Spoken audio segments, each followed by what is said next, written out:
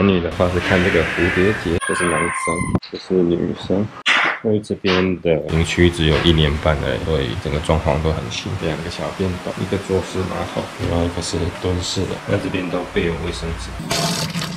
从这个电源的设计啊，觉得还蛮用心的。电线从底下出来，不会因为下雨，然后你插电，这个门盖不起来，然后雨水喷进去有危险。边共有五间卫浴，哦，都长这样子，很可爱。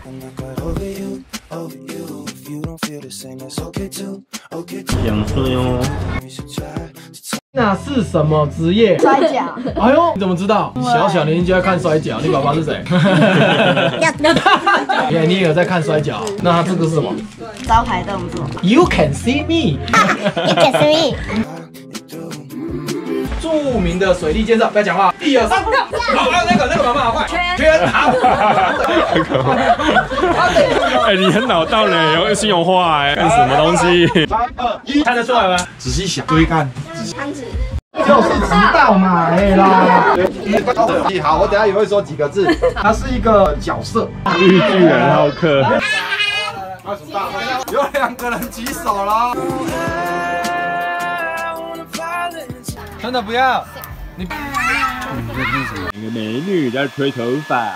这边规划了一个还蛮舒适的一个吹风机的区域，里面的话就是冰箱，还有一个休息的空间，上面是冷冻，下面是冷藏，这边做一个干湿分离。空间感很大，这边还有一个置物的平台，这边可以吊挂衣服，然后这边可以放一些简易的沐浴、洗净用品，很宽敞。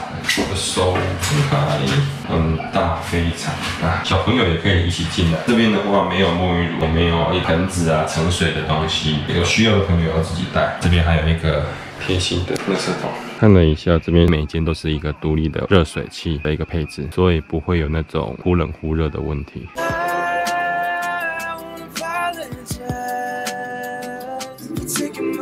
成功的蝴蝶园，我们可以看到虫蝶的卵蛋，然后看到毛毛虫，这么大颗可以结果最少要九年。它如果在太阳底下照的时候，它后面那个黄色会变成金黄色，就是黄赏凤蝶的宝宝，就软软的，摸起来很。两只毛毛虫。